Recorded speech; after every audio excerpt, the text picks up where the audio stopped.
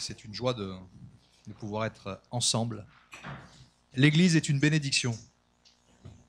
L'Assemblée est une vraie bénédiction. Qu'est-ce qu'on ferait, tous- qu'est-ce qu'on ferait tout seul dans, dans notre coin? Dieu a voulu ces instants et je bénis le Seigneur pour son amour, mais pour sa sagesse et son intelligence de savoir rassembler ceux qui lui appartiennent. Nous allons prendre un court instant dans la prière pour demander vraiment Seigneur de nous débarrasser des choses qui nous envahissent dans ce monde et qui viennent polluer notre esprit, comme des scories comme ça qui nous empêchent d'être réceptifs à la communion fraternelle, parce que c'est une vraie bénédiction, je le dis encore, mais aussi de pouvoir euh, réaliser la grâce que nous avons ce matin d'être là. Seigneur, je veux te bénir parce que c'est vrai que c'est une bénédiction d'être rassemblés à ton nom alors que tant d'autres souffrent par la planète. Beaucoup aimeraient se joindre à nous ce matin, mon Père. Nous en avons conscience. Je te bénis pour ces instants, Père, que tu vraiment viennes délivrer notre âme de tout fardeau, que tu rendes notre esprit attentif à ton Esprit Saint, Père. Que tu fasses de moi ton serviteur comme un canal, Seigneur, je ne suis rien sans toi, Père. C'est toi qui diriges toutes choses. Je te bénis dans le nom de Jésus-Christ. Amen. Alléluia. On parle de l'Église et c'est vrai que depuis quelques semaines, il y a ce thème qui est abordé régulièrement. Et euh, Jamel m'a offert la possibilité, merci, de travailler sur Actes. Donc nous allons parler des Actes ce matin et quel livre plus centré sur l'Église que le livre des Actes Nous aborderons donc ce matin quelque chose qui nous tient à cœur parce que lorsque l'on se penche sur ce livre des Actes, nous sommes impressionnés de voir l'expansion euh, du message évangélique. On affichera le, le- verset tout à l'heure. C'est un message qui est plein de force. On voit l'expansion de l'Église de Jésus-Christ au tout début, dans tout le bassin méditerranéen. Et nous sommes attentifs également et impressionnés de voir les œuvres qu'a accompli Pierre au départ, et Paul, et puis les autres, conduits sous l'onction de l'Esprit. Comme le souligne un Mathieu Sanders, qui est enseignant à la faculté de Vaux-sur-Seine dans son introduction à l'herméneutique, il dit quelque chose d'intéressant. Il dit que les actes des apôtres forment à eux seuls un genre canonique. C'est quelque chose qui articule bien les évangiles et puis euh, ensuite les épîtres. Et on peut sans conteste et sans connotation péjorative dire que le livre des actes, c'est réellement le livre de l'Église primitive. Certains commentateurs bibliques vont jusqu'à dire qu'il ne serait pas faux de nommer ce livre les actes du Saint-Esprit. La présence de l'Esprit Saint derrière chaque action est forte et puissante. On y retrouve avec puissance les premières conversions de masse. 3000. Vous imaginez s'il y avait 3000 personnes qui rentraient dans la salle d'un coup, là? On y voit les victoires sur l'adversité des, des pharisiens. On y voit la joie, malgré tout ce que les apôtres peuvent endurer. Et puis on y voit aussi les avertissements de Dieu. Rappelez-vous, dans Acte 5, Ananias et Saphira. Ce livre raconte avec une force qui est assez peu commune la progression de l'Église, comme une promesse d'ailleurs faite par le Seigneur au premier chapitre des Actes et au verset 8. C'est Jésus qui parle juste avant l'ascension et qui dit vous recevrez une puissance le Saint-Esprit survenant sur vous et vous serez mes témoins à Jérusalem, dans toute la Judée, dans la Samarie et jusqu'aux extrémités de la terre. Une parole prophétique du Christ dans ce livre qui annonce déjà ce que tous les peuples de la terre devront réellement rencontrer, donc les descendants de Noé. Tous seront en contact avec la bonne nouvelle, vous les connaissez, Yacham, Sem et Japheth. Le livre des actes, c'est sans commune mesure un slogan, c'est le mien, le partagerai peut-être ou pas. L'évangile pour tous et sans distinction. C'est en tout cas ce que confirme le livre, avec la conversion hautement symbolique, je viens d'en parler, de l'eunuque, l'Éthiopien, un descendant de Cham, la conversion de Paul, celui qui se faisait appeler Saul de Tarse, qui deviendra le plus grand évangéliste de son temps, le plus grand missionnaire, descendant de Sem. Et puis également dans le livre des Actes, pour conclure cette notion de toutes les nations issues de Noé, on peut lire en Acte 10 la conversion du centurion Corneille, un descendant de Japheth. on voit bien que l'évangile se répand avec force et tous y sont invités. Ce livre des actes, je l'ai dit tout à l'heure en introduction, c'est le ministère de Pierre au chapitre 1 à 12, vous pouvez le voir, et puis également celui de Paul, les chapitres 13 à, 26, à 28, dans cette grande mission d'évangélisation. C'est très riche d'enseignements pour nous, tout cela. On voit bien ici la naissance de ce qui constitue encore aujourd'hui l'Église des croyants, non plus sous la loi, mais sous la grâce de Jésus-Christ. Et nous sommes les descendants directs de la naissance de cette Église. Rendons gloire à Dieu parce que cette Église, elle a été combattue, et encore aujourd'hui, elle est debout et plus vivante que jamais. Merci mon Père pour ces instants. Vous serez mes témoins à Jérusalem, dans toute la Judée, dans la Samarie et jusqu'aux extrémités de la terre. il y a vraiment une progression en cercle concentrique. Et la lecture des actes pour nous est vraiment essentielle pour comprendre ce qu'ont été les débuts et l'évolution du christianisme. Comprendre également comment certains versets sont devenus normatifs et d'autres pas, concernant l'Église qui est à notre époque. Nous lisons donc ce matin en Actes chapitre 6, et on peut projeter le texte, des versets 1 à 7. Alors on va poser le contexte. On est à Jérusalem. Il y a l'opposition des pharisiens. La foule, elle, elle voit des miracles. Quant aux chrétiens, eux, ils ont vendu. Ils ont vendu leurs biens. Ils vivent en communauté. Ils se réunissent dans le temple avec euh, les apôtres. Ils sont dans les maisons aussi. Ils enseignent et ils ont à cœur l'expansion de l'évangile. Voilà en gros le contexte. Et on lit donc dans la version du Semeur, chapitre 6, les versets 1 à 7. À cette époque-là, comme le nombre de disciples ne cessait d'augmenter, des tensions surgirent entre les disciples juifs de culture grecque et ceux qui étaient nés en Palestine. Les premiers se plaignaient de ce que leurs veuves étaient défavorisées lors des distributions quotidiennes. Alors les douze apôtres réunirent ensemble les disciples et leur dirent, Il ne serait pas légitime que nous arrêtions de proclamer la parole de Dieu pour nous occuper des distributions. C'est pourquoi, frères, choisissez parmi vous sept hommes réputés, dignes de confiance, remplis du Saint-Esprit et de sagesse. Nous les chargerons de ce travail. Cela nous permettra de nous consacrer à la prière et au service de l'enseignement. Cette proposition convint à tous les disciples. Ils élurent Étienne, un homme plein de foi et d'Esprit Saint, ainsi que Philippe, Procor, Nicamore, Timon, Parménas et Nicolas, un païen originaire d'Antioche qui, lui, s'était converti au judaïsme. Ils les présentèrent aux apôtres et prièrent pour eux et leur imposèrent les mains. La parole de Dieu se répandait toujours plus, le nombre de disciples s'accroissait beaucoup à Jérusalem, et même de nombreux prêtres obéissaient à la loi. Ils étaient touchés quand on parle de la puissance de l'Esprit Saint. Les historiens s'accordent pour dire qu'à cette époque, il y avait euh, plusieurs milliers de chrétiens dans la ville. Alors il y a des chiffres, je ne sais pas, 20, 30 000, c'est ce qu'on peut lire. En tout cas, il y en avait beaucoup. Et euh, quoi qu'il en soit, l'évangile avait certainement fait écho pour, euh, pour eux. Et les juifs de cette ville étaient assez bouillonnants. Et il y avait deux sortes de juifs, de juifs chrétiens à Jérusalem. Tout d'abord, il y avait ceux de la langue hébraïque, qui étaient originaires de Jérusalem, ou tout du moins de la Palestine. Et puis, il y avait les juifs chrétiens, qu'on appelait les hellénistes, qui étaient euh, de langue grecque. Ils venaient d'un peu partout de l'Empire romain, et aussi, ils étaient, euh, ils étaient à Jérusalem. La suite du verset 1 nous indique que des tensions surgirent entre ces deux catégories de chrétiens. Ceux de culture grecque, les hellénistes, se plaignaient que leurs veuves étaient défavorisées lors des distributions quotidiennes. Celles originaires de Palestine semblaient être mieux traitées. Il faut bien comprendre ici, euh, pour ce point, l'arrière-plan culturel relatif à la loi hébraïque, euh, qui a toujours pris des dispositions particulières concernant les veuves. En Exode 22, vous lirez au verset 21, Vous n'accablerez pas la veuve et l'orphelin. En Deutéronome 14, au verset 29, qui rappelle aux tribus d'Israël que l'étranger, l'orphelin et la veuve qui seront dans ses portes pourront manger et se rassasier.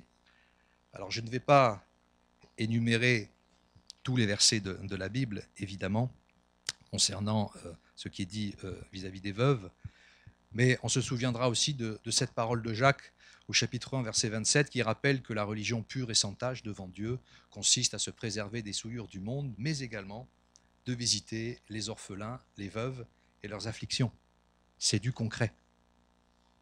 Donc à cette époque, cette question des veuves n'est pas n'est pas prise à la rigolade. C'est quelque chose qui, malgré tout, est important et c'est un des éléments qui va nous permettre de développer autre chose.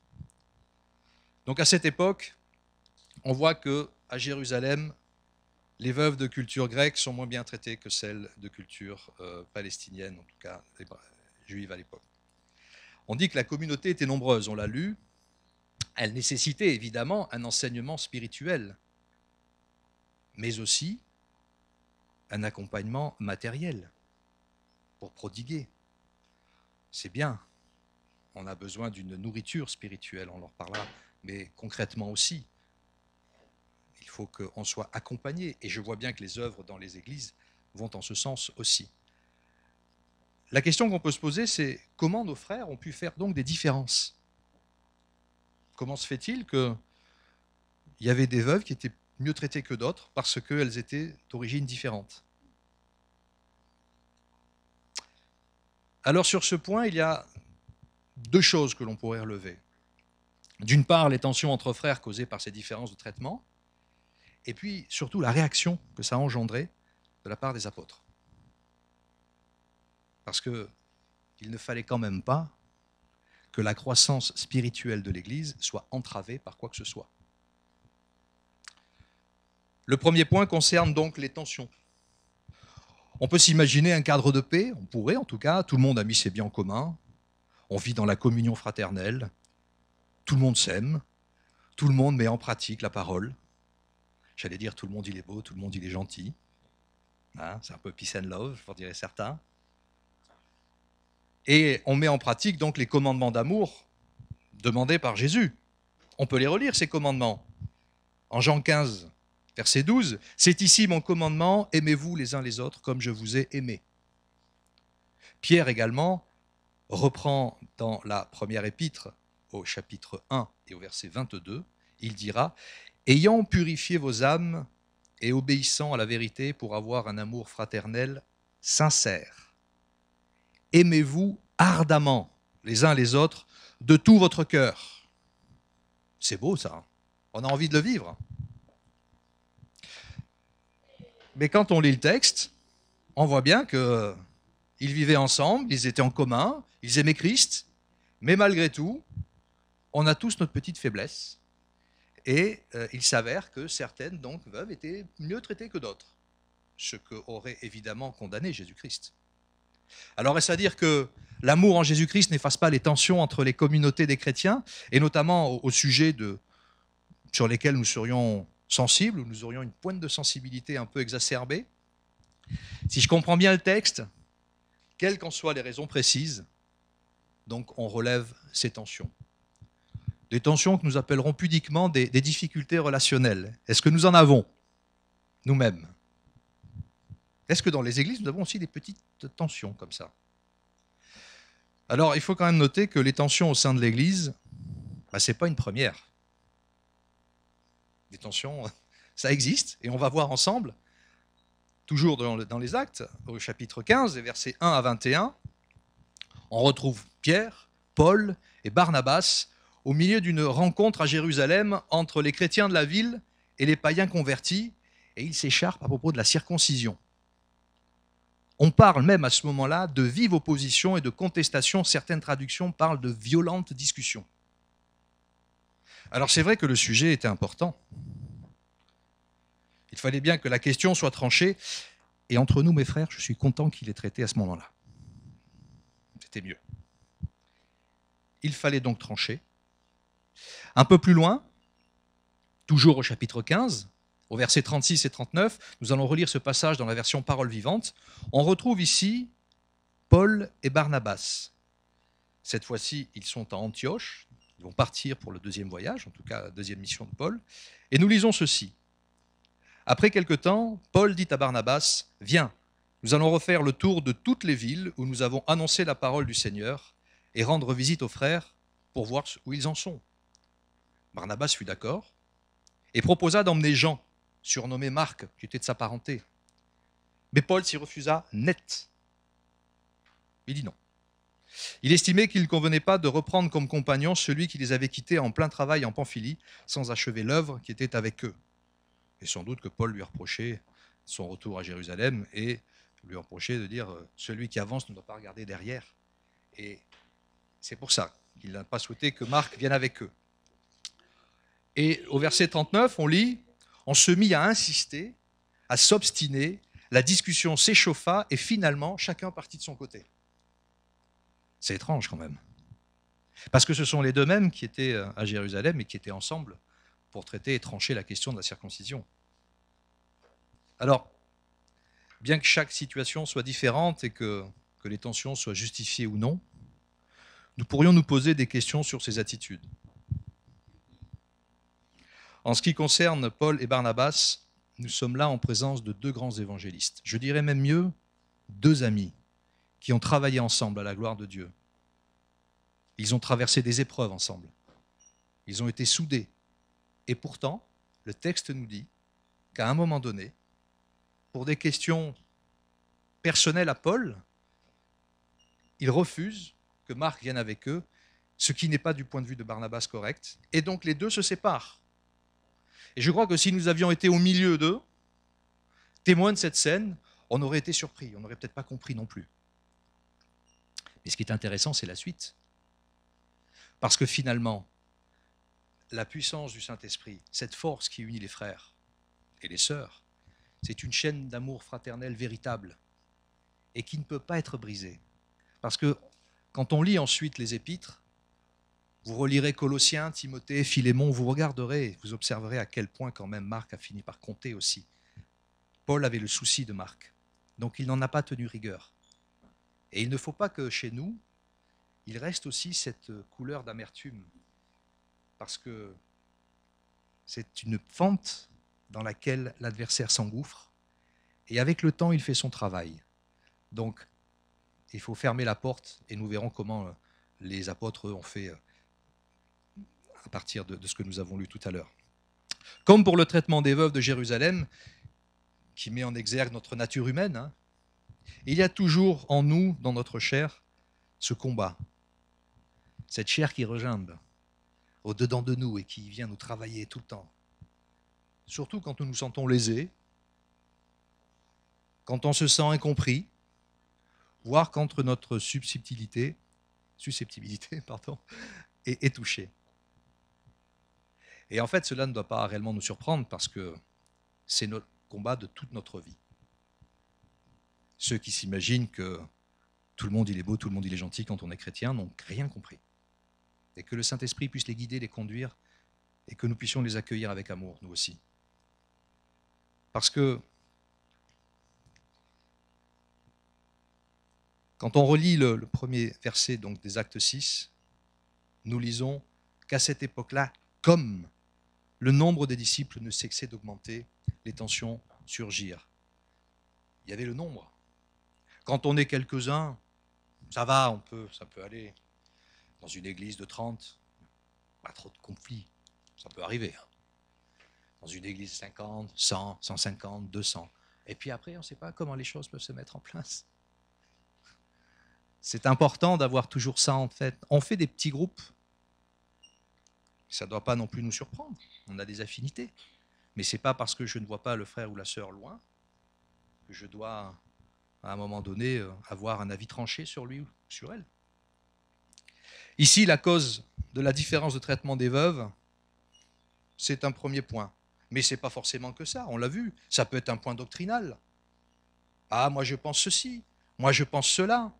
Ça peut être le comportement d'un tel ou un tel. Les tensions persistent. Si les tensions persistent et qu'elles s'installent dans la communauté, elles font le jeu de celui qui vise à détruire la foi, de celui qui vise à détruire l'unité de l'Église, en clair, celui qui vise à détruire l'œuvre de Christ. Donc c'est sûr qu'on a chacun nos idées. Dans une communauté, quelle qu'elle soit, quelle est la première place? C'est l'adoration de Christ. C'est l'enseignement. Voilà ce qui doit avoir la place centrale. Ils sont le ciment de l'édifice dont Jésus-Christ constitue les fondations. La communion avec Christ nous conduit sur le chemin de la mise en pratique de l'amour pour son prochain. Nous parlons ici de l'amour qu'enseigne Jésus-Christ. Alors, est-ce que ça veut dire qu'il faut se taire? Est-ce que ça veut dire que quand on n'est pas d'accord, on dit non? Ben, il ne faut pas se taire, non? Mais il faut savoir se contrôler. Vous lisez dans les textes, celui qui se contrôle, la tempérance. Il ne s'agit pas de traiter son frère ou sa sœur d'imbécile parce qu'on ne pense pas la même chose ou parce qu'on ne se comprend pas. Il faut, si nécessaire, le reprendre avec amour, mais aussi, et ça on l'oublie peut-être un peu, se faire reprendre aussi soi-même avec amour. C'est pas toujours tu as fait ceci, cela, je pense que, mais si l'autre vous dit la même chose, il faut qu'il y ait cette réciprocité. réciprocité. L'amour et l'humilité sont les deux faces d'une seule et même pièce. Écoutons le Seigneur en Matthieu chapitre 5 verset 22. Mais moi je vous dis que quiconque se met en colère contre son frère mérite d'être puni par les juges. Que celui qui dira à son frère Raka mérite d'être puni par le sang et drain. Et que celui qui dira insensé mérite d'être puni par le feu de la géhenne. Rien que ça. Alors qu'il y ait des désaccords entre chrétiens, ce n'est pas un mal en soi. C'est normal, c'est naturel, on peut ne pas être d'accord.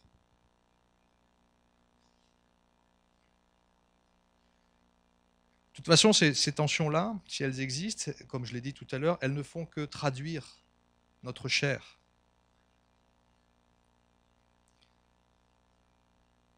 Ne faisons pas le bien que nous souhaitons, très souvent, et nous faisons le mal que nous ne voulons pas. Vous, vous retrouverez un long un long texte dans euh, Romains chapitre 7 à ce sujet. Oui, des désaccords peuvent donc exister dans les églises sur des tas de sujets. Cela peut générer des tensions, de la colère. Mais que dit la parole à ce sujet? Encore une fois, relisons ce que dit la parole. En Éphésiens chapitre 4, versets 26 et 27. Si vous vous mettez en colère, ne péchez point. Que le soleil ne se couche pas sur votre colère. Et au verset 27, il précise, ne donnez pas accès au diable. La colère, ce n'est pas fait pour nous. On peut avoir des réactions, mais on ne peut pas bâtir notre vie et rester sur ces colères-là. Demander pardon, c'est la phase de l'humilité, ça c'est le pardon, c'est, la traduction, c'est le travaux dirigés, on dira pour voir si vraiment on vit l'humilité. Parce qu'on parle beaucoup parfois d'humilité, mais il y a celle qu'on a devant Dieu. Ah, c'est facile. Plus ou moins, mais c'est quand même facile. Enfin, ça doit être facile en principe. Seigneur. Mais devant l'autre, devant le frère, la sœur. Ce sujet pourrait faire euh, l'objet d'une étude complète. Mais euh, revenons donc au premier, au premier verset, enfin à la première partie que nous venons de voir, ce qui nous amène donc à la réaction des apôtres par rapport à tout cela. La situation qu'ils observent fait réagir les apôtres. On rappelle qu'à cette époque, les chrétiens de Jérusalem avaient décidé de vendre leurs biens, donc ils vivaient en communauté, ils avaient tout partagé, ils vivaient sous la direction des apôtres. Vous lirez euh, les versets 44 à 46 du deuxième chapitre des Actes qui résument la situation. Hein. Ils étaient avec les apôtres, ils avaient partagé leurs biens, ils allaient au temple ensemble, partager les repas à la maison. Bref, la fin du verset 46 précise qu'ils vivaient avec allégresse, dans l'allégresse et avec simplicité de cœur. Et puis voilà qu'à un moment, donc, ces chrétiens de Jérusalem sont rattrapés par la vieille nature. On l'a vu, les apôtres, eux, ne peuvent pas tout gérer. Ne peuvent pas gérer à la fois l'enseignement et en même temps la distribution. On l'a lu. L'Église grandissait. Donc on va changer d'organisation, mais c'est valable aussi, mais c'est naturel, hein, c'est valable aussi dans les entreprises. Hein. L'entreprise, euh, elle est autre entrepreneur, et puis vous montez, la multinationale n'a pas tout à fait euh, la même structure qu'une petite PME. Vous pardonnerez la comparaison, mais c'est logique. Les églises grandissent, donc il y a des nouveaux besoins. Et il y avait donc ce besoin euh, de distribution qui devenait pour les apôtres une lourde charge, et qui générait donc des tensions, on l'a vu. On pourrait dire que ce point marque un tournant dans l'histoire de l'Église, malgré tout, parce qu'il va instaurer peu à peu ce que l'on appelle encore aujourd'hui le diaconat. Nous remarquons qu'à partir du moment où les apôtres constatent la situation, verset 1, ils réagissent immédiatement, versets 2 et 3, et ils prennent une sage décision. Ils décident de convoquer les disciples pour traiter le sujet et nommer des personnes en charge des affaires matérielles, qu'est-ce qu'ils font en réalité? Ils ne laissent pas la situation s'envenimer. Parce qu'ils savent très bien que s'ils laissent la situation s'envenimer, c'est un frein à l'expansion de l'Évangile. Ce texte nous rappelle que plus il y a de choses à faire dans une assemblée, plus il faut être vigilant à l'organisation et à la responsabilité qui incombe les uns aux autres. Ils ont conscience que, pris par des tâches matérielles, ils ne pourraient pas se consacrer pleinement à la mission que le Seigneur leur avait confiée. Pour que l'Église se développe et s'affermisse, il faut donc qu'il y ait une répartition des tâches et différents rôles au sein de l'Assemblée locale. Au rôle de pasteur, la responsabilité de l'enseignement, du respect de la doctrine biblique, de la stabilité spirituelle, de l'assemblée, les visites, l'accompagnement. Le pasteur est sans cesse en action dans le développement de l'œuvre de Jésus-Christ. Notamment en affermissant spirituellement l'assemblée, mais également par l'évangélisation. Il peut être secondé dans ce rôle par des anciens qui ont également le souci de l'unité, de la communion fraternelle. Comme la lecture du verset 2 le laisse entendre, il est essentiel que le conducteur de l'Église se consacre à la parole de Dieu, et pour cela, donc, je rappelle qu'il doit être soulagé de certaines tâches. Et je ne pense pas que Chamel dirait le contraire, et que les pasteurs disent le contraire. Ils ont besoin d'être accompagnés. Ils ont besoin d'être secondés par des frères et des sœurs fidèles. Sans enseignement, sans prière, quel résultat? Aucun. Tout au plus une activité d'association. On fait des choses, mais nous ne sommes pas une association.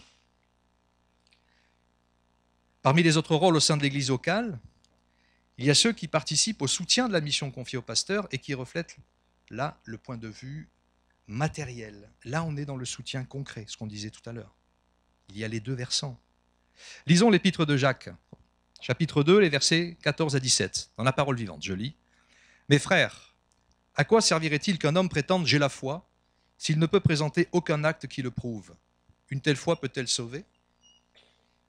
Supposez qu'un frère ou qu'une sœur soit dans le dénuement. Ils n'ont rien pour s'habiller, rien à manger aujourd'hui. Et voilà, l'un de vous leur dit Au revoir, mes amis, portez-vous bien, restez au chaud et bon appétit. Mais s'il ne leur donne pas de quoi pourvoir aux besoins du corps, à quoi cela servirait-il? Il en va de même pour la foi. Si elle ne se manifeste pas par des actes, elle est chose morte.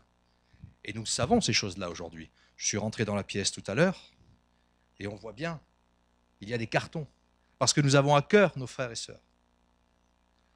Le texte que je viens de lire ne, ne s'oppose pas au fait que seule la foi sauve, non pas les actes. Ce que dit Jacques ici doit se comprendre comme la traduction de l'amour qui doivent manifester celles et ceux qui ont été sauvés, qui ont été rachetés par grâce par l'œuvre de la croix, non pas par leurs propres œuvres, mais par le don de Jésus-Christ. Cette vie en Christ, réellement, cette vie de racheter, doit produire du fruit. Et le fruit par excellence, c'est l'amour. L'amour que chacun de nous doit manifester donc par des actions concrètes, c'est ce que dit Jacques hein, dans, dans ces versets.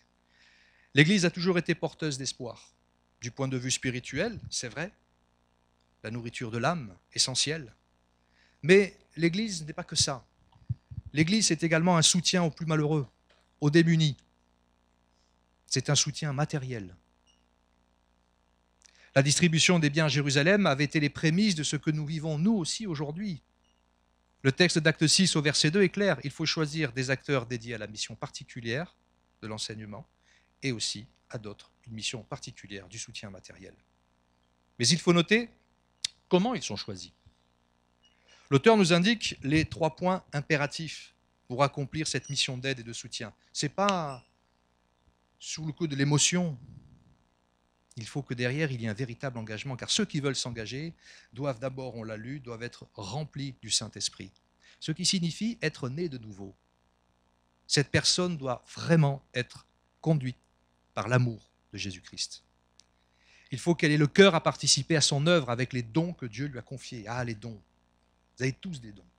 Nous avons tous des dons.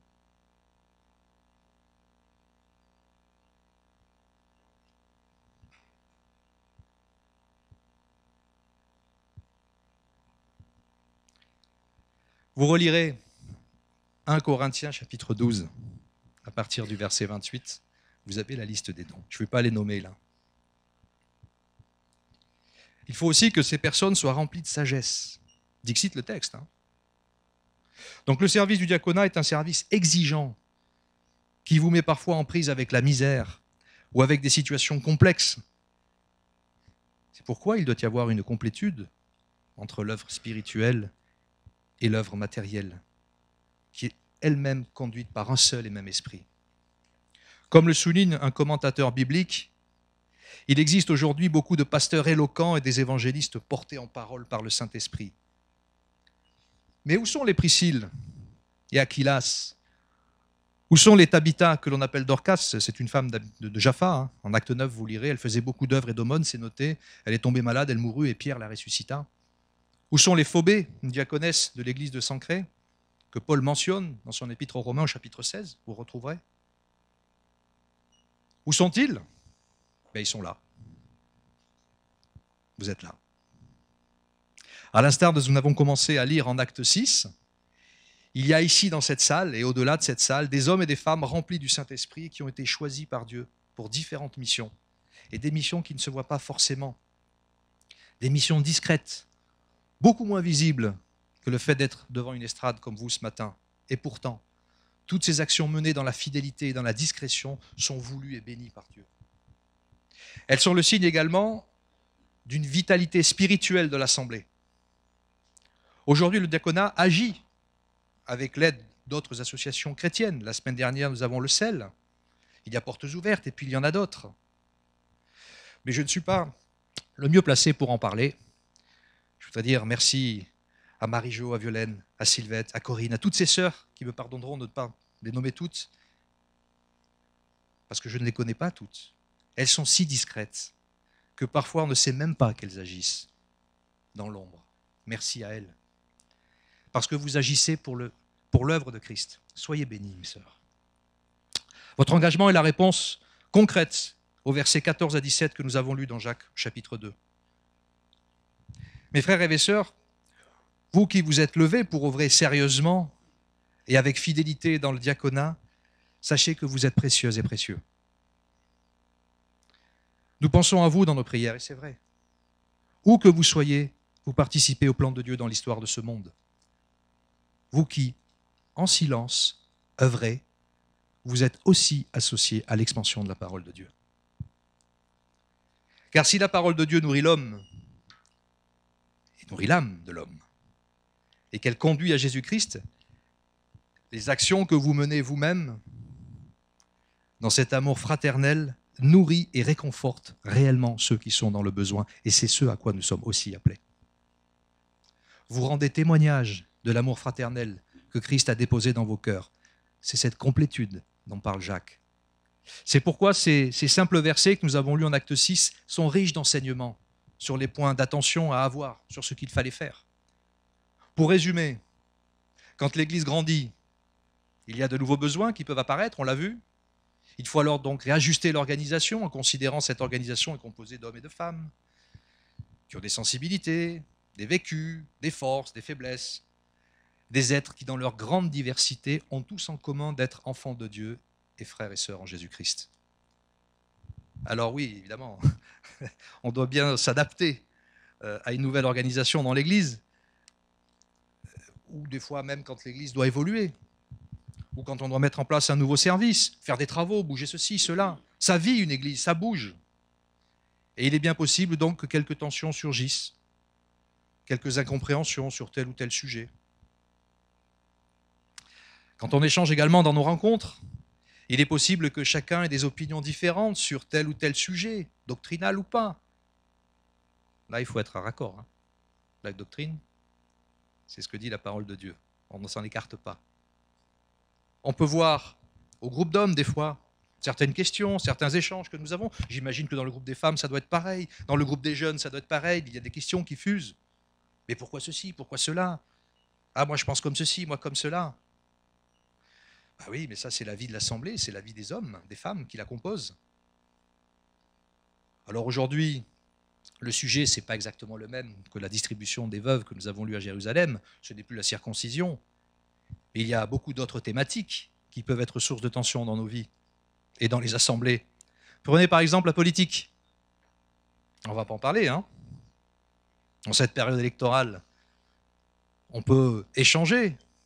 Ah, moi je vote ceci, moi je vote cela. Votez qui vous voulez, mon frère. C'est là-haut que vous allez.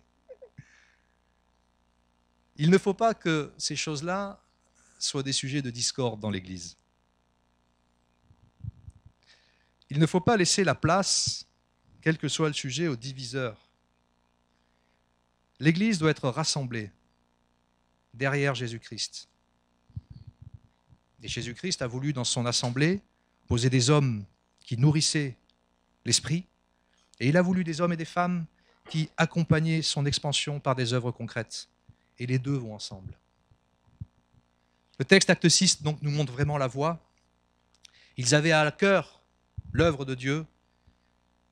Ils ont observé les tensions et ils ont fait quelque chose. Ils ont simplement réagi pour trouver une solution.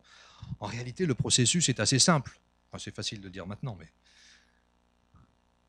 Tout comme les apôtres et disciples de Jérusalem, nous devons avoir à l'esprit l'œuvre du Seigneur. C'est ça que nous devons avoir à l'esprit. Et nous devons nous mettre en ordre de marche. Nous soutenir les uns les autres, soutenir le pasteur et les anciens qui travaillent, soutenir celles et ceux qui sont dans l'engagement, dans l'évangélisation, dans les biens matériels, ceux qui œuvrent. Et par-dessus tout, nous aimer réellement les uns les autres d'un amour véritable. Nous devons avoir le souci de la bienséance et de l'ordre dans l'Assemblée. Nous devons être moteurs et non pas des freins. Et par-dessus tout, nous devons honorer Dieu dans son œuvre. Je résumerai donc notre démarche en trois points pour conclure. L'adoration de Dieu en esprit et en vérité, c'est le premier point. L'amour pour son prochain, tel que Jésus-Christ nous l'a commandé, c'est le deuxième point. L'action dans une église unie, grâce aux deux points précédents, et unie autour de ses conducteurs et de ses diacres. Je résumerai ça en, en 3 A, le processus des 3 A. Vous le garderez à la maison. Adorer Dieu, aimer son prochain et agir dans l'Église. Que Dieu vous affermisse que Dieu nous renouvelle. Soyez bénis, mes frères et sœurs. Amen.